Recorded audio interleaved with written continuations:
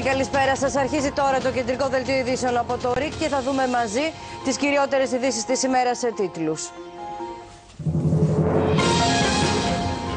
Ναυάγιο επί του εδαφικού στο Μομπελεράν. Το διήμερο που οδήγησε στο πλήρες ξεσκέπασμα της τουρκικής αντιαλλαξίας. Έσπευσαν να επιρρύψουν ευθύνες στην ελληνική πλευρά οι Τούρκοι. Διαψεύδει κατηγορηματικά η Λευκοσία. Απευθεία σύνδεση με Μομπελεράν. Η Κύπρος ανέλαβε την Προεδρία της Επιτροπής Υπουργών του Συμβουλίου της Ευρώπης. Οι προτεραιότητες από Κασουλίδη στο Στρασβούργο. Οικονομικές κυρώσεις για την Τουρκία εξετάζει το Ευρωκοινοβούλιο λόγω των δημοκρατικών ελλημάτων. Ετοιμάζεται ψήφισμα στο Στρασβούργο. Άμεση εφαρμογή των αυστηρών ποινών για τους κόκκινους φακέλους με τα στημένα ποδοσφαιρικά παιχνίδια απαιτεί ο Ιωνάς. Επταετής φυλάκισης στο Τζαλικίδη για την τραγωδία στο Μαρί. Ένοχος εξαμελίας για ανθρωποκτονία. Κατέθεσε έφεση.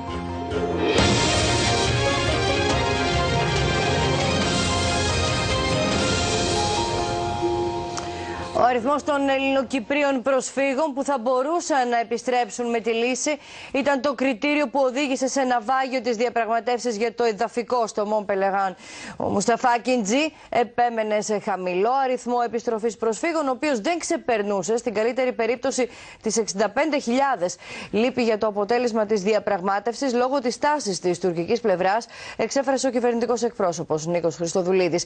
Παρακολουθούμε πρώτα κυρίες και κύριοι το ρεπορτάζ της Καλεσμένη του Ρίξ Τέλε Μιχαήλ και στη συνέχεια θα έχουμε και απευθεία σύνδεση με Μον Πελεράν.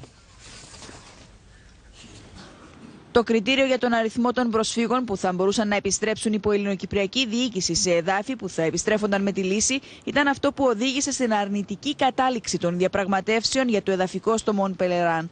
Σύμφωνα με τις πληροφορίες του Ρίκη, η τουρκοκυπριακή στάση στο θέμα αυτό ήταν συνδεδεμένη ουσιαστικά με την δυστοκία Ακιντζή σε αναπροσαρμογές εδάφους που αναπόφευκτα θα περιελάμβαναν και τη Μόρφου. Ο Μουσταφά Ακιντζή δεν προχωρούσε σε προσέγγιση θέσεων στους αριθμούς που έθεταν οι δύο πλευρές, όπως ήταν έτοιμη η ελληνοκυπριακή πλευρά, και εμφανίστηκε να επιμένει σε χαμηλό αριθμό προσφύγων που να μπορούν να επιστρέψουν. Οι πληροφορίες του Ρίκ αναφέρουν πως ο αριθμός από τουρκοκυπριακής πλευράς στέθηκε στις 55.000 πρόσφυγες και μόνο μια ένδειξη υπόνοια έκανε, όπως έλεγαν χαρακτηριστικά πηγές από την ελληνοκυπριακή διαπραγματευτική ομάδα, για ένα αριθμό ενδεχομένως στις 65.000. Η συζήτηση ξεκίνησε στα κριτήρια, επικεντρώθηκε στα τρία βασικά κριτήρια. Δεν υπήρξε συγκεκριμένη κατάληξη, ειδικότερα όσον αφορά το κριτήριο της επιστροφής των Ελληνοκυπρίων που θα μπορούσαν να επιστρέψουν στις αιστείες τους μέσα ως αποτέλεσμα των εδαφικών αναπροσαρμογών Έγινε προσπάθεια, ανταλλάγησαν απόψεις, έγινε και προσπάθεια από πλευράς των Ηνωμένων Εθνών. Δεν κατέστη εφικτό να καταλήξουμε σε αποτέλεσμα. Το ναυάγιο στο Μον Πελεράν σφραγίστηκε γύρω στη μία μετά τα μεσάνυχτα, όταν οι δύο ηγέτε αναγνώρισαν πως δεν μπορούσε πλέον να προχωρήσει η διαπραγμάτευση στο εδαφικό. Ο κυβερνητικός εκπρόσωπος προέβησε δηλώσεις στους δημοσιογράφους λίγο μετά τις 2 μετά τα μεσάνυχτα. Ο Νίκος Χρυστοδουλίδης μετέφερε τη λύπη του Προέδρου της Δημοκρατίας για την αρνητική κατάληξη, αλλά και χαρακτήρισε καταδικαστές δηλώσεις, τι οποίες είχε προβεί λίγο νωρίτερα ο εκπρόσωπος του Μουσταφά Κιντζιμπάρη Μπουρτσού, με τις οποίες κατηγορούσε την ελληνοκυπριακή πλευρά για μαξιμαλιστικές θέσεις. Δεν είναι μια καλή βραδιά για την πατρίδα μας. Δεν είμαστε καθόλου ευτυχείς και ειλικρινά λυπούμαστε που ως αποτέλεσμα της α, τουρκικής στάσης δεν κατέστη δυνατόν να ολοκληρωθεί μια πολύ υποσχόμενη διαδικασία. Ο κυβερνητικός εκπρόσωπος σημείωσε πως δεν είναι η ώρα για παιχνίδι επίρρηψη ευθυνών και ότι η κυβέρνηση είναι αποφασισμένη να συνεχίσει τις προσπάθειες τερματισμού της κατοχής και επανένωσης του τόπου. Ο πρόεδρος της Δημοκρατίας θα ανασκοπήσει την όλη κατάσταση που έχει δημιουργηθεί και θα ληφθούν πιο συγκεκριμένες αποφάσεις. Αντιλαμβάνεστε, δεν ε, έχουν αυτή τη στιγμή ληφθεί αποφάσεις για το πώς θα προχωρήσει η όλη η διαδικασία. Θεωρώ ότι όποια προσπάθεια επίρρηψης ευθυνών είναι άστοχη. Επαναλαμβάνω, ο πρόεδρος όταν επιστρέψει θα μιλήσει πολύ συγκεκριμένα για όλα όσα έγιναν. Από εκεί και πέρα τα Ηνωμένα Έθνη παρακολουθούν αυτή τη διαδικασία εδώ και 18 μήνες και γνωρίζουν πάρα πολύ καλά πώς έχουμε φτάσει στην παρούσα κατάσταση πραγμάτων και επαναλαμβάνω ο κύριος Έτη ότι μέσα στο πλαίσιο των αρμοδιοτήτων του φυσικά και θα ενημερώσει το Συμβούλιο Ασφαλείας και τα Ηνωμένα Έθνη. Η αυλαία στις διαπραγματεύσεις στο Μον Πελεράν έπεσε επισήμως με ανακοίνωση του εκπροσώπου τύπου των Ηνωμένων Εθνών στην Κύπρο. Αναφέρει πως Αναστασιάδης και Ακιντζή, παρά τι καλύτερε τους προσπάθειες που κατέβαλαν, δεν μπόρεσαν να επιτύχουν τις απαραίτητες περαιτέρω συγκλήσεις στα κριτήρια για εδαφικές αναπροσαρμογές, οι οποίες θα άνοιγαν τον δρόμο για την τελική φάση των συνομιλιών. Οι δύο πλευρές αποφάσισαν να επιστρέψουν στην Κύπρο και να αξιολογήσουν την περαιτέρω πορεία. Ο εκπρόσωπος των Ηνωμένων Εθνών στην Κύπρο αναφέρει στην ανακοίνωσή του και ότι ο ειδικός σύμβουλος του Γενικού Γραμματέα των Ηνωμένων Εθνών, Εσπεν Μπαρθάιτα, θα ενημερώσει για την εξέλιξη στη διαπραγμάτευση για το εδαφικό των Μπαν Από το Μον Πελεράν στην Ελβετία για το ΡΙΚ, Στέλλα Μιχαήλ. Συνδεόμαστε τώρα απευθείας με το Μον Πελεράν και την απεσταλμένη του Ρίξ Στέλλα Μιχαήλ, η οποία έχει όλο το ρεπορτάζ της επόμενης ημέρας. Στέλλα, καλησπέρα από τη Λευκοσία. Καλησπέρα σας από το Μον Πελεράν, ε, όπου η αυλαία γύρω στη μία το πρωί λοιπόν έπεσε για το θέμα των διαπραγματεύσεων για το εδαφικό. Το ερώτημα που υπάρχει πλέον για την επόμενη μέρα είναι ο τρόπος διαχείρισης ε, και από ελληνοκυπριακής και του πλευράς ε, του αποτελέσματος για το θέμα του εδαφικού. Ε, είναι και το θέμα πώς θα προχωρήσουν, ε, με ποιο τρόπο θα υπάρξει η συνέχιση της ε, συζήτησης πλέον σε ό,τι αφορά τα ζητήματα του Κυπριακού. Να σημειώσουμε ότι σύμφωνα με πληροφορίες μας αναμενόταν ο πρόεδρος Αναστασιάδης, ο οποίος επέστρεψε νωρίτερα το απόγευμα στην Κύπρο. Ε, αναμενόταν να έχει πριν από λίγο σύσκεψη μαζί με συνεργάτες του και τον διαπραγματευτή της ελληνοκυπριακής πλευράς για μια πρώτη αποτίμηση και αξιολόγηση των δεδομένων όπως προκύπτουν με το αποτέλεσμα εδώ στην Ελβετία. Ενώ ε, σύμφωνα και με ανάρτηση που έκανε στον προσωπικό του λογαριασμό στο Twitter ο κυβερνητικός εκπρόσωπος πριν, από περίπου 10 λεπτά, λεπτά ναι. ήταν σε εξέλιξη τηλεφωνική επικοινωνία του Προέδρου της Δημοκρατίας μαζί με τον Έλληνα Πρωθυπουργό. Το σκηνικό όπως διαμορφώθηκε χθες βράδυ εδώ στο Μοντ Πελεράν ε, με την εξέλιξη της διαπραγμάτευσης για το εδαφικό κατέδειξε σύμφωνα με πηγές από την Ελληνοκυπριακή ε, διαπραγματευτική ομάδα ότι από πλευράς του κυρίου Ακιντζή υπήρχε μια δυσκολία και δυστοκία ε, για να προχωρήσει σε ουσιαστική συζήτηση ό,τι αφορά καταρχάς το θέμα του αριθμού των προσφύγων που θα μπορούν να επιστρέφουν ε, σε ε, υπολοιπριακή διοίκηση με τις εδαφικέ αναπροσαρμογές. Η εκτίμηση που υπάρχει είναι ότι ε, η στάση αυτή του κυρίου Ακιντζή είναι συνδεδεμένη με το θέμα της μόρφου, καθότι οι εδαφικέ αναπροσαρμογές με βάση την προσέγγιση και με το ποσοστό εδάφους, η αντανάκλαση και με βάση τον, το κριτήριο στον αριθμό των προσφύγων, αναπόφευκτα θα οδηγούσε και σε επιστροφή της μόρφου εάν είχαν προσέγγιση στους αριθμούς που έθεταν οι δύο πλευρές σε ό,τι αφορά την επιστροφή προσφύγων. Να υπενθυμίσουμε ότι από ελληνοκυπριακής πλευράς ο στόχος ήταν ε, κοντά στις ε, 100.000 ε, και να είναι ε, άνω των, 80, των 90.000. Ο στόχος από πλευράς ελληνοκυπριακής ήταν να υπάρξει μια προσέγγιση, ένα ε, περιθώριο μεταξύ των θέσεων των δύο πλευρών σε αριθμούς που να κυμαίνεται η διαφορά το πολύ γύρω στις 13 με 14.000 ε, με την προσέγγιση που επιδιωκόταν να επιτευχθεί. Θα πρέπει να σημειώσουμε ότι η εκτίμηση με τον τρόπο που εκτελήχθηκε χθες η διαπραγμάτευση ε, στο Μον Πελεράν Υπάρχει εκτίμηση ότι ε, ενδεχομένως η, η στάση που τήρησε ο τουρκοκύπριο ηγέτης ό,τι αφορά το θέμα και του αριθμού των προσφύγων ε, ε, να σχετίζεται και με την σύγκληση που υπήρξε σε σχέση με το ποσοστό εδάφους. Είναι κάτι που δεν αποκλειόταν ως ένα σενάριο ε, υπό την έννοια ότι ενδεχομένως ο κύριος Ακιντζή να προχώρησε σε συμφωνία σε αυτή τη σύγκληση να είναι η απόκληση 28,2 με 29,2 το ποσοστό εδάφους για την τουρκοκυπριακή πολιτεία και ίσως να προχώρησε χωρίς να έχει ε, ή να μην εξακολουθεί να έχει το πράσινο φως από την Άγκυρα. Αυτό σαν εκτιμήσεις σαν μια προσπάθεια που, σε πρώτο στάδιο που γινόταν για να αξιολογηθεί ε, η στάση με τον τρόπο που εκτελήχθηκε χθες η συνάντηση, καθώς σε κάποιο στάδιο η εντύπωση που υπήρχε και στην Ελληνοκυπριακή Διαπραγματευτική Ομάδα, όπως μας ανέφεραν έγκυρες πηγές, είναι ότι ο κ. Ακιτζή ε, έδειξε μάλλον ανακουφισμένος όταν υπήρξε η ολοκλήρωση ε, της όλης διαδικασίας, όπως μας αναφέρθηκε. Είχε σταματήσει και να ζητά διακοπές για να έχει διαβούλευση. Φαινόταν ότι δεν ήταν στο στάδιο στο οποίο είχαν φτάσει τουλάχιστον χθες το απόγευμα η όλη διαδικασία ε, δεν είχε την πρόθεση να προχωρήσει σε περαιτέρω ουσιαστική διαβούλευση που να οδηγεί να ανοίγει την προοπτική να υπάρξει η περαιτέρω προσέγγιση των δύο πλευρών για να μπορέσει να προωθηθεί η διαδικασία που να είχε ε, να οδηγήσει και σε εξέλιξη σε θέμα ε, που να αφορά ακόμα και την ίδια την πολυμερή. Και, από, τουρκοκυπριακή. Να σημειώσουμε απλώς, Βίβιαν, ότι σε σχέση με το θέμα ε, της Μόρφου, οι πληροφορίες αναφέρουν ότι υπήρξε μια προσπάθεια να διασυνδεθεί και με το θέμα της ασφάλειας και να παραπευθεί το θέμα της Μόρφου ε, σε ό,τι αφορά ε, και την ε, διάσκεψη για την ασφάλεια. Κάτι το οποίο δεν είναι δεχτό από ελληνοκυπριακής πλευράς. Ενώ για τα κλείδι, ενώ θα έχουμε τώρα μαζί μας και τη συνάδελφο του Κυπέτη Ραλή Παπαγεωργίου, ε, η οποία έχει παρακολουθήσει και δηλώσει από τον κύριο Ακιντζή. Να σημειώσουμε ότι με το, το, ενώ έπεφτε, ε, δεν είχε ακόμα ολοκληρωθεί η, η διαδικασία και έπεφτε η αυλαία ψες, υπήρξαν ε, δημοσιεύματα και ακόμα και ανάρτηση και από την ε, λεγόμενη προεδρία του ψευδοκράτους ε, ανάρτηση στο Twitter που επέριπτε ευθύνη στην ελληνοκυπριακή πλευρά με tweet για θέμα μαξιμαλιστικών θέσεων εκ μέρους της ελληνοκυπριακής πλευράς. Κάτι για το οποίο ήγηρε θέμα ε, ε, η διαπραγματευτική ομάδα της ελληνοκυπριακής πλευράς για το ζήτημα αυτό ε, ως παράπονο για επίρρηψη και για ένα παιχνίδι blame game. Να ακούσουμε όμως και την Ραλή, έχει ενδιαφέροντα στοιχεία ε, και από δηλώσεις του κ. Ακιντζή. Καλή. Καλησπέρα. Να πούμε ότι το tweet το επίμαχο αποσύρθηκε από την ιστοσελίδα της λεγόμενης Προεδρίας λίγο μετά που αναρτήθηκε, προφανώς μετά από τα παράπονα που έγιναν από τη δική μας πλευρά. Λοιπόν, θα πρέπει να σας πω ότι ο κύριος Ακιντζή επέστρεψε στα κατεχόμενα ε, στις ε, 7 ε, ώρα Κύπρου και ε, προέβησε δηλώσεις για 40 λεπτά. Θα σας λέω κάποια σημεία γιατί αντιλαμβάνεστε ότι δεν πρόλαβα να τα ακούσω όλα τα σημαντικά και την ουσία. Λοιπόν, ξεκίνησε με το θα ήθελα να σας φέρω καλύτερα νέα και επειδή δεν μπόρεσα να το κάνω αυτό, λυπάμαι. Αναφέρθηκε στη διαδικασία από την πρώτη φάση των διαπραγματεύσεων στο Μόνο Πελάραν μέχρι σήμερα. Είπε ότι δεν έπαιξε εδώ και 1,5 χρόνο το παιχνίδι επίρρηψη ευθυνών, blame game και ούτε θα το πράξει. Από την άλλη, ανέφερε όταν η άλλη πλευρά έχει κάνει λάθος, η στάση της δεν είναι σωστή, δεν μπορώ παρά να το πω. Ε, είπε ότι πριν φύγει είχε αναφερθεί σε πραγματικότητες, τους ανέφερε τα πραγματικά γεγονότα ω έχουν και τώρα που επέστρεψε θα πράξει το ίδιο.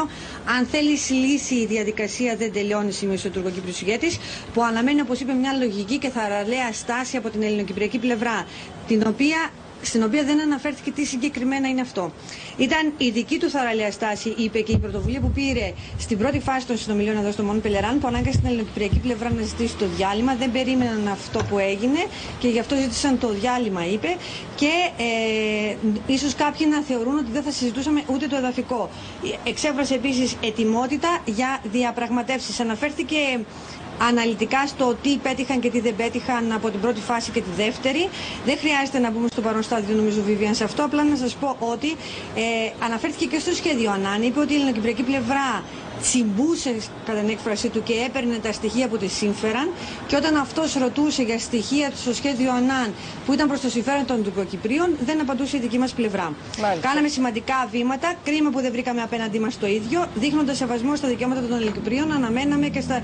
και ε, σεβασμό προς τα δικαιώματα των Τουρκοκυπρίων. Λοιπόν, ε, είπε ότι τώρα είμαστε σε διαφορετική φάση.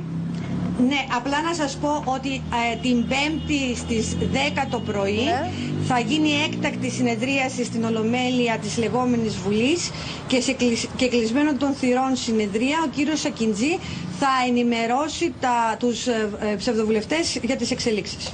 Λοιπόν, ευχαριστήσουμε τη Ραλή Παπαγεωργίου, την απεσταλμένη του Ρίξ στο Μόβελεραν Στέλλα Μιχαήλ. Ε, σε ευχαριστώ πολύ για το ρεπορτάζ και για την ανταπόκριση. Καλή συνέχεια. Καλό σας βράδυ. Τώρα σε Αθήνα και Κωνσταντινούπολη, κυρίες και κύριοι, θα πάμε στη συνέχεια. Ο Αλφόνσος Βιτάλης και η Άννα Ανδρέου θα μας δώσουν τις αντιδράσεις Ελλάδας και Τουρκίας. Ο ανταποκριτής μας στην Αθήνα θα μας δώσει και το ρεπορτάζ από την τηλεφωνική επικοινωνία που είχε το απόγευμα ο Υπουργός Εξωτερικών της Ελλάδας, Νίκος Γοτζιά, με τον ειδικό σύμβουλο του Γενικού Γραμματέα των ΗΠΑ για το Κυπριακό Μπαρθέ Άιτα. Αλφόνσο και Άννα, καλησπέρα. Καλησπέρα. Καλησπέρα. Λοιπόν, Αλφόνσο, ξεκινάμε, ερχόμαστε κατευθείαν κοντά σου. Το... Η Αθήνα... Ναι. Παρακαλώ, ναι. Η Αθήνα εκφράζει την απογοήτευσή της για την εξέλιξη των διαπραγματεύσεων στο Κυπριακό χθες στο Μον Πελεράν, αλλά και τον προβληματισμό της για τις θέσεις Τουρκίας. Ωστόσο, η ελληνική πλευρά, η ελληνική κυβέρνηση διαμηνεί προς όλες τις κατευθύνσεις τη σταθερή προσήλωσή της στις συνομιλίες για βιώσιμη λύση του Κυπριακού, ενώ βρίσκεται σε διαρκή επικοινωνία και συντονισμό με την Κυπριακή κυβέρνηση. Πληροφορίες που έχουμε από νωρίς το απόγευμα αναφέρουν ότι ο Πρωθυπουργός Αλέξης Τσίπρας ανέμενε την επιστροφή του Προέδρου Αναστασιάδης στη Λευκοσία ε, προκειμένου να έχει μαζί του τηλεφωνική επαφή τηλεφωνική επικοινωνία για να συζητήσουν τις επόμενες κινήσεις και τον ε, καλύτερο συντονισμό από εδώ και πέρα των κινήσεων Αθήνας-Λευκοσίας. Υπάρχει μια πληροφορία ότι πιθανά να είναι σε εξέλιξη και αυτή τη στιγμή η συνομιλία α, του κυρίου Τσίπρα με τον κύριο Έτσι ακριβώς, με ανάρτηση του στο, στο λογαριασμό του, ο κύριος Χριστοδουλίδη, ο κυβερνητικός εκπρόσωπος, πριν από περίπου 20 λεπτά, έδωσε το, α, είπε, ανακοίνωσε ότι αυτή η συνομιλία βρίσκεται σε εξέλιξη. Ακριβώς και εμείς από εκεί την έχουμε την εικόνα, από το tweet του κύριου Χριστοδουλίδη. Πριν, εγώ οφείλω να σας πω ότι πριν μισή ώρα, 40 λεπτά, ολοκληρώθηκε η ενημέρωση του κυβερνητικού εκπροσώπου εδώ στην Αθήνα. ε, δεν ανακοίνωσε ότι υπήρξε αυτή η συνομιλία, άρα σημαίνει ότι θα γίνεται τώρα. Όση ώρα τώρα Ναι. εδώ είμαστε σε αυτή την αναμονή. Πάντως ήταν δεδομένο ότι θα υπήρχε αυτή η επικοινωνία. Σήμερα, αργότερα σήμερα θα υπήρχε αυτή η επικοινωνία. Ε, θα πρέπει να πούμε επίσης ότι λίγο νωρίτερα σήμερα το απόγευμα ο Υπουργός Εξωτερικών Νίκος Κοντζιάς με δική του πρωτοβουλία επικοινώνησε τηλεφωνικά με τον ειδικό απεσταλμένο του Γενικού Γραμματέα του ΟΗΕ για το Κυπριακό Έσπεν Μπαθ Άιντα. Ο κύριος Κοντζιάς τόνισε ότι η Ελλάδα επιθυμεί τη λύση του Κυπριακού και υποστηρίζει τη συνέχιση της διαπραγματευτικής διαδικασίας.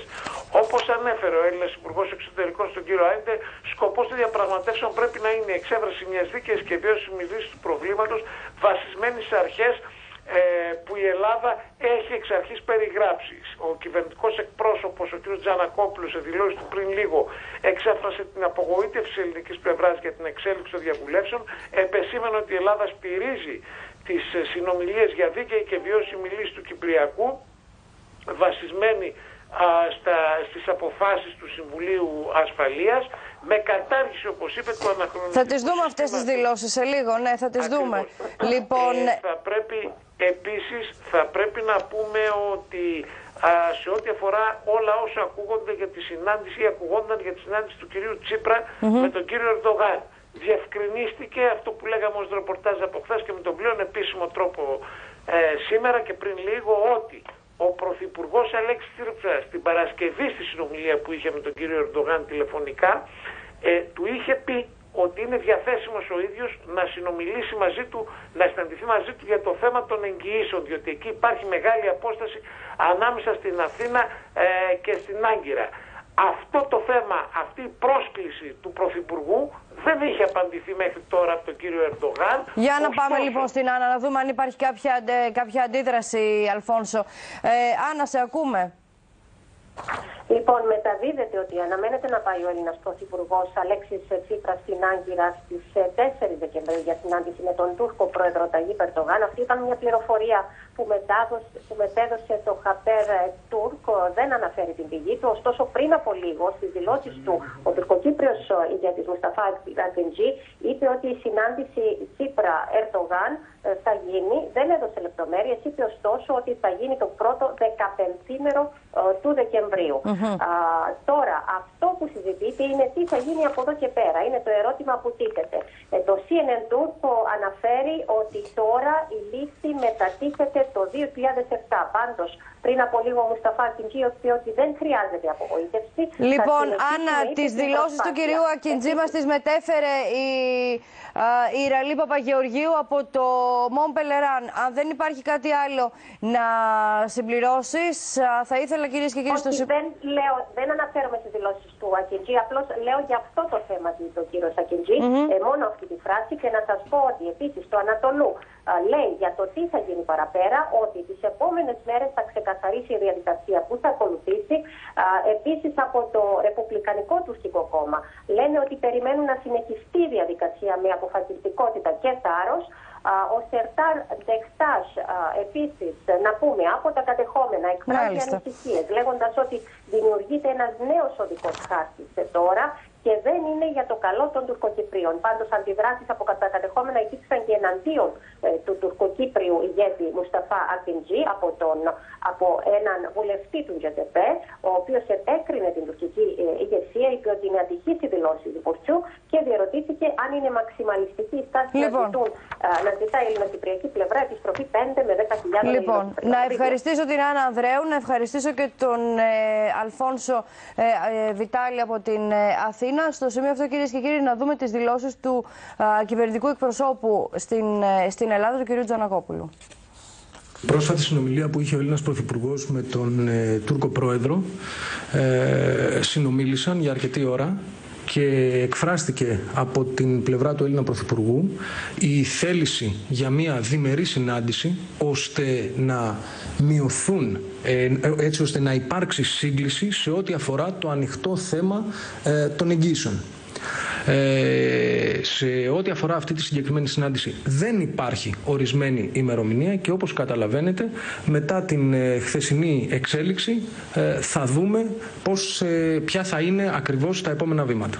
Αυτή τη στιγμή δηλαδή ε, θεωρούμε ότι υπάρχει ανοιχτό το ζήτημα αυτό, ωστόσο με προσεκτικά βήματα θα προχωρήσουμε καθώς όπως καταλαβαίνετε το θέμα του Κυπριακού είναι εξαιρετικά λεπτό και θέλει εξαιρετικά λεπτούς χειρισμούς.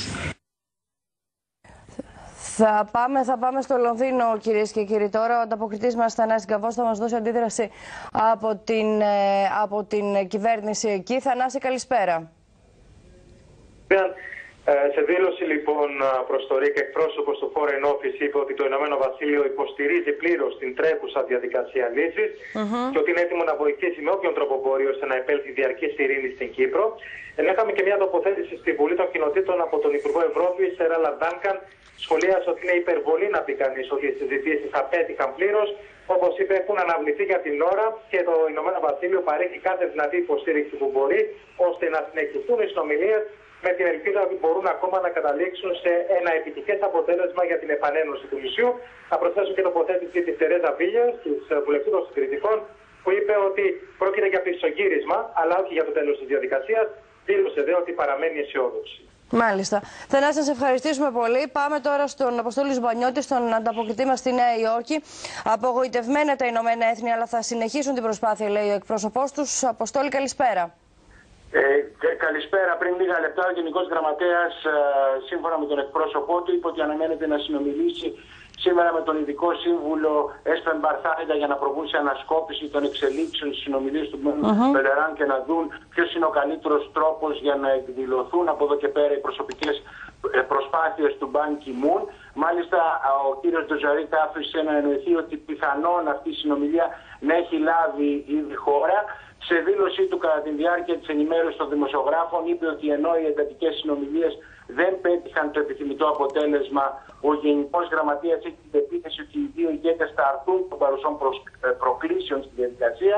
Ελπίζει επίσης ότι θα συνεχίσουν να εργάζονται ακούραστα όπως έχουν ήδη πράξει μέχρι τώρα την κατεύθυνση ε, της επίτευξη μιας διαθέτηση εντός του 2016 προς όφελος όλων των Κυπρίων. Τα Ηνωμένα Έθνη και προσωπικά ο Γενικό Γραμματείας θα συνεχίσουν να υποστηρίζουν αυτές τις προσπάθειες.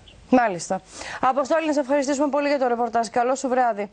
Ψυχραιμία, κυρίες και κύριοι, και αποφυγή δηλώσεων που θα δυναμητίζουν το κλίμα με τη χθεσινή βραδινή εξέλιξη στο Μόμπελερ, αν συστήνει ο πρόεδρος του Δυσία Βεροφινοφίτου, ενώ ο Γενικός Γραμματέας του ΑΚΕΛ, Άντρο Κυπριανού, πρόσθεσε ότι το χθεσινό πισωγύρισμα δεν πρέπει να σβήσει την ελπίδα για λύση.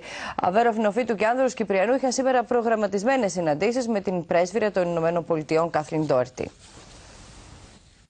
Έχει μέχρι σήμερα παραχθεί σημαντικό έργο και συγκλήσεις στα τέσσερα κεφάλαια του Κυπριακού και χρειάζεται ψυχραιμία για να μην διακοπεί ο διάλογος, δήλωσε ο πρόεδρος του Δυσία Βεροφνεοφύτου. Συνέστησε επίσης την αποφυγή δηλώσεων και αντιδηλώσεων που θα δυναμητήσουν το κλίμα. Και δεν πρέπει κατά την άποψή μας να οδηγηθούμε και πρέπει να προσπαθήσουμε να αποφύγουμε αδίέξοδο. Υπάρχει ένα πρόβλημα το οποίο χρειάζεται ψυχραιμία, νυφαλιότητα. Μιλώντας μετά από συνάντηση με την πρέσβυρα των Ηνωμένων Πολιτειών Καθλίν Τόερτη, ο πρόεδρος του ΔΥΣΥ ανέφερε ότι είναι στη φύση των εθνικών ζητημάτων να υπάρχουν κρίσεις, οι οποίες όμως είναι δυνατόν να ξεπεραστούν. Είπε ακόμη ότι θα ήταν θετικό να πραγματοποιηθεί συνάντηση του Έλληνα Πρωθυπουργού Αλέξη Τσίπρα και του Τούρκου Προέδρου Ταγί Περτογάν. Ερωτηθής για την συνάντηση με την Καθλίν Ντόερτη, ανέφερε ότι η Αμερικανίδα πρέσβυρα ευχήθηκε όπως ξεπεραστούν τα προβλήματα στις διαπραγματεύσεις. Και ότι οι Ηνωμένες Πολιτείες θα στηρίξουν τις δύο πλευράς στην προσπάθειά τους για να γεφυρωθούν οι διαφορές και εκεί που μπορεί να είναι βοηθητικοί στις διαβουλεύσεις τους και στις συζητήσεις με την κυβέρνηση στην Τουρκία. Το ΑΚΕΛ είναι έτοιμο να αναλάβει πρωτοβουλίες για συνέχιση του διαλόγου, μεταξύ αυτών και επαφές με τουρκοκυπριακά κόμματα, δήλωσε ο Γενικός Γραμματέας του κόμματος Άντρος Κυπριανού. Τόνισε ότι το χθεσινό πισωγύρισμα δεν πρέπει να σβήσει την ελπίδα για λύση. Αντιθέτως, πρέπει να εντατικοποιήσουμε ακόμα περισσότερο την προσπάθεια, οργανωμένα, συλλογικά, βασισμένη στις συμφωνημένες αρχές, σε μια προσπάθεια το συντομότερο δυνατόν να επαναρχίσουν οι διαπραγματεύσεις με στόχο να ξεπεραστούν τα εμπόδια τα οποία υπάρχουν. Ο κύριος Κυπριανού είχε επίσης συνάντηση με την πρέσβυρα των Ηνωμένων Πολιτειών με την οποία συζήτησαν τις χθεσινές εξελίξεις στο Κυπριακό. Ξεκαθάρισε ότι ο δικός τους ο ρόλος δεν είναι να μεταφέρουν θέσεις, απλώς προσπαθούν εκεί και όπου υπάρχουν περιθώρια να συμβάλλουν, αλλά τίποτα περισσότερο. Για να είμαι ειλικρινής, καταλαβαίνω ότι και εκείνοι θα αναμένουν να ενημερωθούν πιο ολοκληρωμένα για να μπορέσουν να διαμορφώσουν άποψη για το πώς πρέπει να προχωρήσουν τα πράγματα. Ο πρόεδρος του Δυσία Αβέροφ Νεοφύτου είχε το απόγευμα συνάντηση και με τον Γάλλο πρέσβη Ρενέ Τροκάς, με τον οποίο συζήτησαν τις εξελίξεις στο Κυπριακό. Πάμε τώρα κυρίες και κύριοι να δούμε και τις αντιδράσεις των υπόλοιπων κομμάτων στο αρνητικό αποτέλεσμα του Μομπελεράν. Πειράξα απέλησαν κατά της επεκτατικής πολιτικής της Τουρκίας και της αδιάλακτης τάσης της, ενώ χαιρετίζουν τη θέση της ελληνικής κυβέρνησης και του Έλληνα Υπουργού Εξωτερικών Νίκου Κοτζιά. Κοινή απέτηση για άμεση σύγκληση του Εθνικού Συμβουλίου. Σύγκληση Εθνικού Συμβουλίου ζητά το δίκο, χαρακτηρίζοντας απογοητευτικό το αποτέλεσμα των διαπραγματεύσεων στο Μομπελεράν. Ο εκπρόσωπος τύπου του κόμματος, Άθος Αντωνιάδης, ανέφερε ότι το γεγονός ότι δεν προέκυψε η κατάθεση χαρτών και η συμφωνία επί ενός χάρτη που θα αποτύπωνε συγκλήσεις αποδεικνύει την κακοπιστία της Τουρκίας. Για νέα χρόνια, που είναι υπό διαπραγμάτευση η πτυχή της διακυβέρνησης, εκ των πραγμάτων η ελληνοκυπριακή πλευρά παραχωρούσε. Τώρα που ήρθε η σειρά της Τουρκίας να δώσει στο έδαφος, για διαλλαξία προκάλεσε εμπλοκή. Το Δημοκρατικό Κόμμα αναμένει σύγκληση του Εθνικού Συμβουλίου και ενημέρωση από τον πρόεδρο της Δημοκρατίας. Η εκπρόσωπος τύπου της ΕΔΕΚ Μαρία Παναγιώτου ανέφερε ότι το αποτέλεσμα των συνομιλιών στο Μον Πελεράν επιβεβαιώνει την προκλητική συμπεριφορά της Τουρκίας, της οποίας, όπως είπε, ο στόχος δεν είναι η δίκαιη και βιώσιμη λύση του Κυπριακού, αλλά η δημιουργία προποθέσεων για έλεγχο ολόκληρης της Κύπρου. Η ΕΔΕΚ χαιρετίζει το ότι ο πρόεδρος της Δημοκρατίας παρέμεινε σταθερός σε κάποιες θέσεις και διεκδικήσεις, έστω και αν έχουμε σοβαρές διαφωνίες για τις υποχωρήσεις που έχει κάνει μέχρι σήμερα σε κεφάλαια όπως η διακυβέρνηση, η νομοθετική και η δικαστική εξουσία. Σημαντική επίσης είναι και η ξεκάθαρη θέση της ελληνικής κυβέρνησης για την πολυμερή διάσκεψη, την οποία και χαιρετίζουμε. Η Συμμαχία Πολιτών υπέδειξε ότι τα αποτελέσματα του Μομπελεράν καταδεικνύουν για άλλη μια φορά την τουρκική αδιαλαξία. Επεδίωκε να προχωρήσουμε στην τελική φάση για να οδηγήσει τα πράγματα εκεί που ήθελε, σε κήρυξη δηλαδή αδιεξόδου, με απότερο στόχο να δημιουργήσει προποθέσει για να υλοποιήσει τις επόμενες επιδιώξεις της. Ω Συμμαχία Πολιτών, τέλος, χαιρετίζουμε τις ξεκάθαρες και ορθές τοποθετήσεις της ελληνικής ηγεσίας, του Έλληνα Πρωθυπουργού και του Υπουργού Εξωτερικών για το Κυπριακό. Το κίνημα Αλληλεγγύη τόνισε ότι η πολιτική που ακολουθήθηκε μέχρι σήμερα έχει αποτύχει ηχτρά, προσθέτοντας ότι στο Μον Πελεράν επιβεβαιώθηκε η τουρκική αδιαλαξία. Διερωτώμαστε τι άλλο πρέπει επιτέλους να δώσουμε στην Τουρκία. Δεν πρέπει σε καμία περίπτωση πρώτου κινδύνου του αδιεξόδου και πρώτων πιέσεων που θα προέλθουν από παντού να συγκατανεύσουμε σε μία ακόμα ήττα και σε μία ακόμα υποχώρηση. Άμεση σύγκληση Εθνικού Συμβουλίου ζήτησαν και οι οικολόγοι, εκφράζοντας παράλληλα ανησυχία για μελλοντικούς σχεδιασμούς της Τουρκίας. Ζητούμε από τον πρόεδρο Αναστασιάδη να συγκαλέσει άμεσα Εθνικό Συμβούλιο και σε συνεννόηση με την ελληνική κυβέρνηση να οργανώσουμε την απαιτούμενη άμυνα έναντι των τουρκικών χειρισμών. Το ΕΛΑΜ κάλεσε την κυβέρνηση να απεγκλωβιστεί από τη λογική της δικοινοτικής διαφοράς και να κατανοήσει ότι το πλαίσιο λύσης ομοσπονδίας είναι εσφαλμένο. Δυστυχώς το Εθνικό Λαϊκό Μέτωπο επιβεβαιώθηκε αφού για μας ήταν ξεκάθαρο ότι το πλαίσιο των συνομιλιών θα οδηγούσε είτε σε αδιέξοδο είτε σε έναν πολύ οδυνηρό συμβιβασμό για τον ελληνισμό της Κύπρου ξεπερνώντας κάθε προηγούμενο και κλιμακώνοντας ταυτόχρονα τις προκλητικές του δηλώσεις του τελευταίου διαστήματος, ο Ερντογάν φέρεται να έθεσε θέμα ακόμη και επαναδιαπραγμάτευσης της συνθήκης της Λοζάνης. Δηλώσεις Ερντογάν και για το Ισραήλ, οι οποίες θα μπορούσε να χαρακτηριστούν τουλάχιστον παράδοξες. Ο πρόεδρος της Τουρκίας αμφισβητεί και πάλι τη συνθήκη της Λοζάνης και προχωρά ένα βήμα παραπέρα. Όπως αναφέρει η φιλοκυβερνητική ενημερωτική ιστοσελίδα Αχαμπέρ, ο Ερντογάν είπε ότι οι κανόνες που έθεσαν οι νικήτριες δυνάμεις του Πρώτου Παγκοσμίου Πολέμου δεν έδιναν στην Τουρκία το δικαίωμα της επιβίωσης. Με τη συνθήκη των Σευρών, δήλωσε, η Τουρκία διαμελιζόταν σε 7 με 8 κομμάτια. Δεν αποδέχθηκε αυτή τη διχοτόμηση και σχημάτισε τα σημερινά σύνορα. Φυσικά αντιμετωπίζουμε με ευχαρίστηση ό,τι κερδίσαμε στη συνθήκη της Λοζάνης. Όμως η Λοζάνη δεν είναι μια συνθήκη που δεν μπορεί να συζητηθεί. Σε καμία περίπτωση δεν είναι ένα ιερό κείμενο. Και φυσικά θα τη συζητήσουμε, αναφέρει ο Ερντογάν. Και συνεχίζει. Θα εργαστούμε για να εξασφαλίσουμε κάτι καλύτερο. Ακόμη επιχειρούν να μας εγκλωβίσουν στη Λοζάνη. Θα καταβάλουμε κάθε είδους προσπάθεια για να εξασφαλίσουμε τους στόχους του 2023. Γνωρίζουμε ότι θα πατήσουμε το πόδι πολλών πλευρών. Θα αγγίξουμε πολλά συμφέροντα. Αυτό θα το πράξουμε μαζί σε κάθε περίπτωση. Είμαστε αποφασισμένοι να οδηγήσουμε την Τουρκία πιο πέρα. Στο μέτωπο με το Ισραήλ, ενώ οι δύο χώρες φαίνεται να εξομαλύνουν τις σχέσεις τους έπειτα από έξι χρόνια, ο Τούρκος πρόεδρος ρίχνει λάδι στη φωτιά, κάνοντας σύγκριση στη βαρβαρότητα μεταξύ του Χίτλερ και του Ισραήλ. Σε συνέντευξή του, που μεταδόθηκε χθες βράδυ από το Ισραηλινό τηλεοπτικό δίκτυο Channel 2, είπε ότι γνωρίζει πολύ καλά πόσο ευαίσθητο θέμα είναι να αναφέρεται στο Χίτλερ, όπως είχε κάνει δύο χρόνια πριν. Και πρόσθεσε, σύμφωνα με τη μετάφραση του Ισραηλινού μέσου. Εγώ δεν εγκρίνω αυτό που έκανε ο Χίτλερ, όμως δεν εγκρίνω ούτε αυτό που κάνει το Ισραήλ. Συνεπώς δεν υπάρχει σύγκριση ως προς το τι είναι πιο βάρβαρο. Στο εσωτερικό, οι τουρκικές αρχές απέπεμψαν σήμερα σχεδόν 15.000 δημοσίους υπαλλήλους, στρατιωτικούς, αστυνομικούς και άλλους λειτουργούς του δημοσίου, με τον ισχυρισμό ότι έχουν κάποια σχέση με το αποτυχημένο πραξικόπημα της 15η Ιουλίου. Το διάταγμα ανακοίνωσε επίσης το κλείσιμο τουλάχιστον 500 ιδρυμάτων, 18 φιλανθρωπικών οργανώσεων και 9 μέσων ενημέρωσης, με την κατηγορία ότι έχουν σχέση με το πραξικόπημα ή διασυνδέσεις με το κίνημα του Φετουλάχ Γκιουλέν. Συζήτηση για την ενταξιακή πορεία της Τουρκίας διεξάγεται στο Ευρωκοινοβούλιο εν μέσω πληροφοριών για έκδοση ψηφίσματος για πάγωμα των ενταξιακών διαπραγματεύσεων της Άγκυρας λόγω παραβίασης των ανθρωπίνων δικαιωμάτων στη χώρα. Η απεσταλμένη μας στη γαλλική πόλη Μαρία Κωνσταντίνου θα μας ενημερώσει και για την ανάληψη της Προεδρίας της Επιτροπής Υπουργών του Συμβουλίου της Ευρώπης από την Κύπρο. Μαρία, καλησπέρα από τη Λευκοσία. Καλησπέρα, Βίβιαν, κυρίες και κύριοι. Πάγωμα, διακοπή, ακόμη και αναστολή των ενταξιακών διαπραγματεύσεων της Τουρκίας ζήτησαν μέλη του Ευρωπαϊκού Κοινοβουλίου στη διάρκεια της έντονης, θα έλεγα, συζήτησης για την Τουρκία στη Σύνοδο της Ολομέλειας, που ολοκληρώθηκε πριν από λίγο εδώ στο Στρασβούργο. Ενώ το πάγωμα των ενταξιακών διαπραγματεύσεων στηρίζουν τα δύο μεγαλύτερα κόμματα, το Ευρωπαϊκό Κοινοβούλιο, το Ευρωπαϊκό δηλαδή Λαϊκό Κόμμα και το Κόμμα των Σοσιαλιστών και Δημοκρατικών. Στη διάρκεια της συζήτησης κατατέθηκαν 8 συνολικά προτάσεις για το σχετικό ψήφισμα, ενώ όλοι οι βουλευτές επέκριναν έντονα την Τουρκία για τις εκτεταμένες διώξεις μετά το αποτυχημένο πραξικόπημα.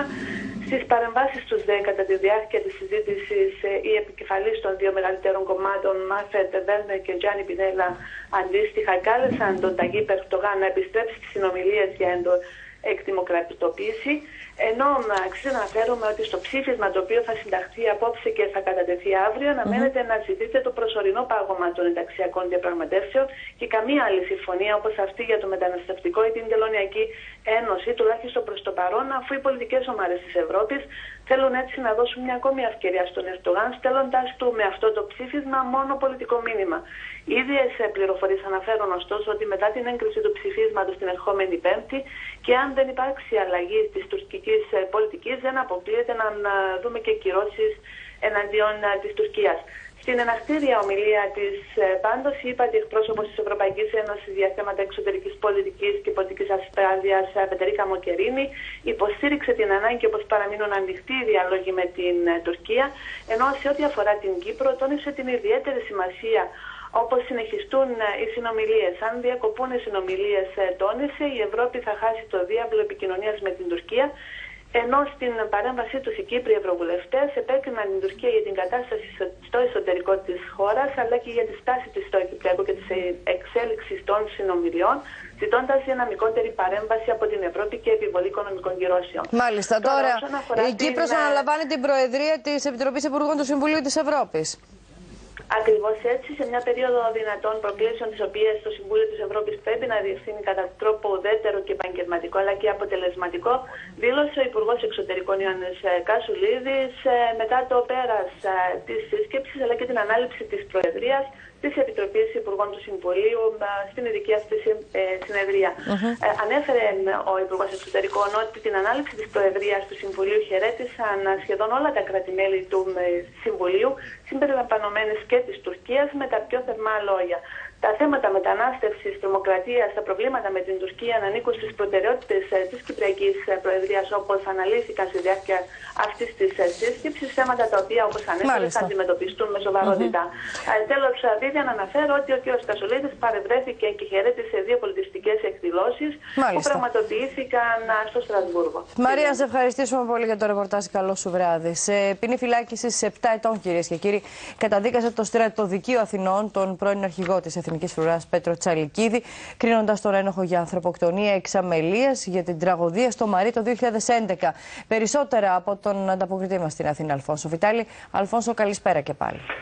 Καλησπέρα σας και πάλι από την Αθήνα. Το στρατοδικείο Αθηνών καταδίκασε σε ποινή φυλάκιση 7 ετών τον πρώην αρχηγό της Εθνικής Φρουράς στην Κύπρο, αντιστράτηγο ένα αποστρατεία Πέτρο Τσαλικίδη.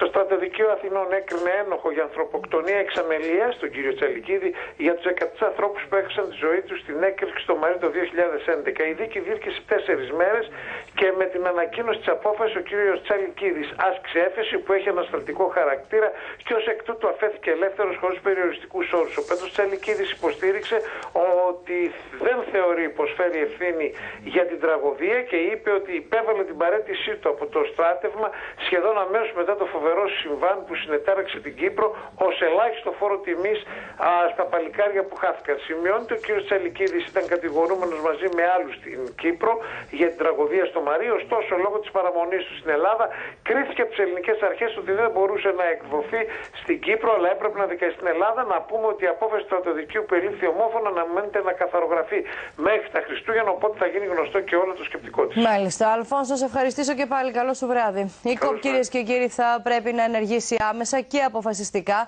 με τον πρώτο φάκελο, δήλωσε ο Υπουργός Δικαιοσύνης και Δημόσιας Τάξης Ιωνα Νικολάου, κληθείς να σχολιάσει τις αποφάσεις της ΚΟΠ για τα στημένα παιχνίδια. Ανεξάρτητα με τις αποφάσεις της ΚΟΠ, η κυβέρνηση θα προωθήσει το νομοσχέδιο που αφορά στη χειραγώγηση των αθλητικών γεγονότων. Η μπάλα βρίσκεται στο γήπεδο της ΚΟΠ για τις ομάδες που εμπλέκονται σε αγώνες με υψηλή στοιχηματική δραστηριότητα. Ο Υπουργός Δικαιοσύνης και Δημόσιας Τάξης Ιωνάς Νικολάου ήταν ξεκάθαρος, ερωτηθείς για την απόφαση της ΚΟΠ να υιοθετήσει αυστηρά μέτρα για τους τιμένου αγώνες. Εκείνο το οποίο θέλω να ελπίζω είναι ότι οι αποφάσεις της ΚΟΠ θα εφαρμοστούν. Δηλαδή, με τον πρώτο φάκελο τον οποίο θα έχουμε μετά από την απόφαση, θα πρέπει να δούμε και την υλοποίηση των μέτρων που έχουν αποφασιστεί. Στον πρώτο φάκελο θα επιβάλλεται στο εμπλεκόμενο σωματείο πρόστιμο 50.000 ευρώ. Στο δεύτερο φάκελο θα επιβάλλεται πρόστιμο 50.000 ευρώ και αφαίρεση 6 βαθμών. Εάν πρόκειται για σωματείο των μικρών κατηγοριών, θα επιβάλλεται και ποινή απαγόρευσης της ανόδου στην πιο πάνω κατηγορία. Στον τρίτο φάκελο το σωματείο θα διαβαθμίζεται και θα στερείται όλων των χορηγιών. Στον τέταρτο φάκελο θα επιβάλλεται πρόστιμο 100.000 ευρώ και παράλληλα το σωματείο θα διαγράφεται και δεν θα έχει δικαίωμα επανεγραφής για περίοδο 5 χρόνων. Η κυβέρνηση, ανέφερε ο Υπουργός Δικαιοσύνης και Δημόσιας Τάξης, ανεξάρτητα από τις αποφάσεις της ΚΟΠ, θα προωθήσει το νομοσχέδιο που ετοιμάστηκε και αφορά την χειραγώγηση των αποτελεσμάτων των αθλητικών γεγονότων. Τα νομοσχέδια θα προχωρήσουν γιατί ουσιαστικά πέραν από τις ε, πειθαρχικές ποινές που έχει αποφασίσει η ΚΟΠ πρέπει σίγουρα να δοθεί και το αναγκαίο νομικό προστάσιο στις διοκτικές αρχές για να μπορούν να προβούν και στις απαραίτητες διώξεις. Στόχος είναι το νομοσχέδιο να κατατεθεί στη Βουλή στις αρχές του 2017. Βρίσκομαι σε συνεννόηση και με τον Υπουργό Παιδείας για να προχωρήσουμε με την κύρωση της σύμβασης του Συμβουλίου της Ευρώπης για τη χειραγώγηση των αθλητικών αγώνων. Το Κυπριακό ποδόσφαιρο βρίσκεται σε κρίσιμη φάση, είπε ο Υπουργός, επισημένοντας ότι η κατάσταση θα έπρεπε από καιρό να ταρακουνήσει τους αρμοδίους. Έχουμε υποχρέωση να προστατεύσουμε το άθλημα. Έχουμε υποχρέωση να προστατεύουμε το κύρος της Κυπριακής Δημοκρατίας και οφείλουμε να προσφέρουμε στο λαό μας ό,τι είναι το καλύτερο ε, που προσδοκεί ε, μέσα από αυτού του είδους τις αθλητικές δραστηριότητες. Το πρωί στη Λεμεσό ενεργήθηκαν έρευνες και ανακρίσεις για του τιμένου αγώνες αλλά και την έκρηξη βόμβα στα γραφεία ασφαλιστικής εταιρείας συμφερόντων του Προέδρου της ΚΟΠ, Κωστάκη Κουτσοκούμνη. Εντοπίστηκε ένα κυνηγετικό όπλο και ένα ομοίωμα πιστολιού.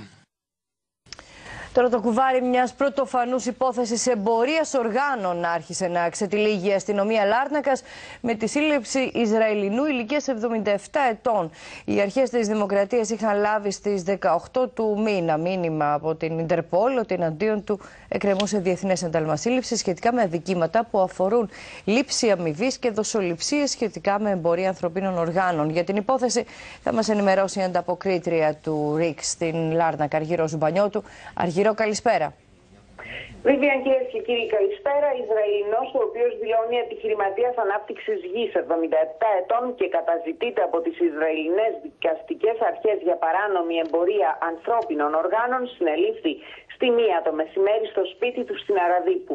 Οι αρχές της Δημοκρατίας είχαν λάβει στις 18 του μηνός μήνυμα της Ιντερπόλ ότι εναντίον του εκκρεμεί διεθνές ένταλμα σύλληψης, διότι ο Ισραηλινός φέρεται να είναι μέλος διεθνούς κυκλώματος εμπορίας ανθρωπίνων οργάνων.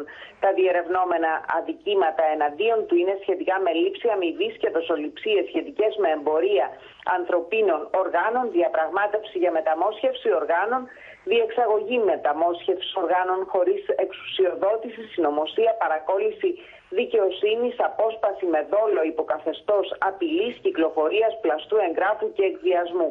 Τα δικήματα διατάχθηκαν από το 2014 έως το 2016 φέτος δηλαδή σε Ισραήλ και Τουρκία. Ο Ισραηλινός συνελήφθη με προσωρινό ένταλμα σύλληψης και τέθηκε υποκράτηση. Φέρεται σύμφωνα με αστυνομικές πηγές να είναι ο μεσάζων ώστε ομοεθνείς του να, μετα... να μετέβαιναν στην Τουρκία και να α, έκαναν επεμβάσεις μεταμόσχευσης οργάνων που εξασφαλίστηκαν με παράνομο τρόπο δηλαδή επαμοιβή. Αύριο το μεσημέρι αναμένεται να οδηγηθεί ενώπιον του Επαρχιακού Δικαστηρίου Λάρνακας για να εκδικαστεί το αίτημα της αστυνομίας να παραμείνει ο Ισραηλινός υποκράτηση έως ότου φτάσουν από την Ιερουσαλήμ τα επίσημα έγγραφα με τα οποία θα ζητείται η έκδοσή του. Αργυρό, να σε ευχαριστήσουμε για το ρεπορτάζ. Καλό σου βράδυ.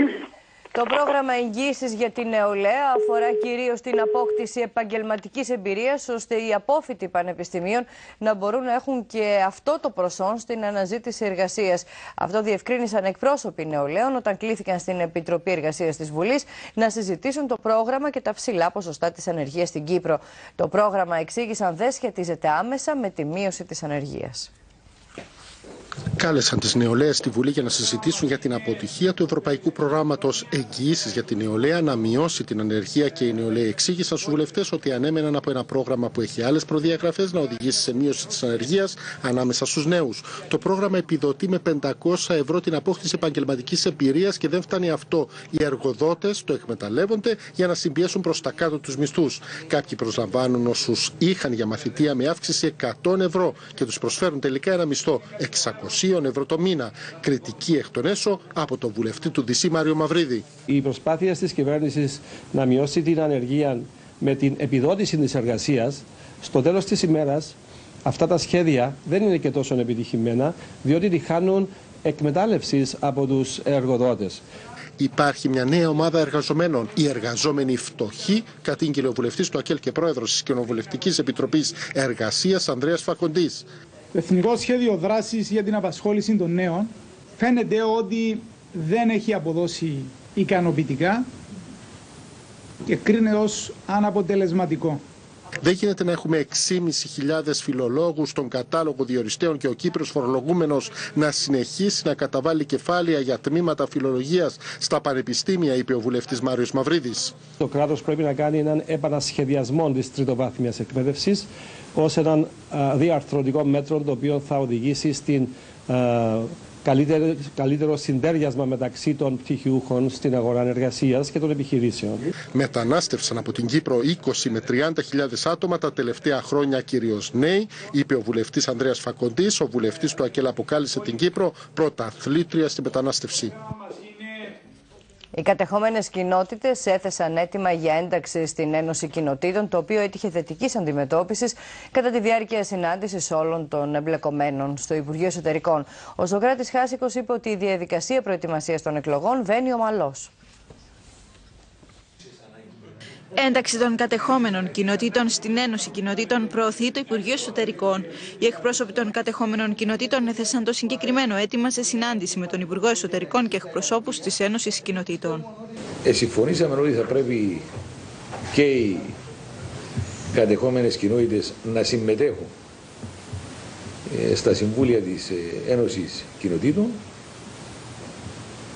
ε, και πάνω σε αυτήν την βάση θα προχωρήσουμε με την Ένωση Κοινοτήτων των Ελευθέρων Περιοχών. Οι κοινοτάρχες έθεσαν επίσης θέμα αύξησης της αντιμισθία τους, κάτι που ο Υπουργός Εσωτερικών είπε ότι θα εξετάσει μαζί με το Υπουργείο Οικονομικών. Ο Σοκράτης Χάσικος δήλωσε ότι η προετοιμασία της εκλογικής διαδικασίας προχωρά ομαλά και σε πολλές κατεχόμενες κοινότητες οι κοινοτάρχες ανακηρυχθούν χωρίς ανθυποψήφιο. Έφερε ως παράδειγμα την επαρχία Κερίνιας, όπου θα διεξαχθούν εκλογές μόνο σε τρεις κοινότητες. Νέος Δήμαρχος Καραβά ανακηρύχθηκε σήμερα ο Νίκος Χατζηστεφάνου με τον συνδυασμό ενότητα καραβιωτών. Στις προτεραιότητες του είπε ο αγώνας για επιστροφή. Ανακηρύξεις κοινοταρχών και κοινοτικών συμβουλίων πραγματοποιήθηκαν σε όλες τις επαρχίες στις περιπτώσεις που δεν υπήρχαν ανθυποψήφοι.